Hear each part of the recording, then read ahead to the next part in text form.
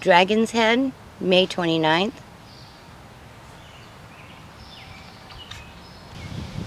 June 22nd, and this is the Dragon Head.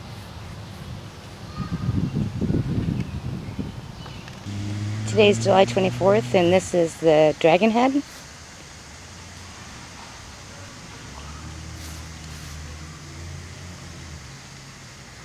Today is August 24th, and you can see that the, um, what was this called? Oh, Dragon Head is now pretty much done. There's a little bit of a flower there. So we should be going to seed soon. See if we can find any seeds.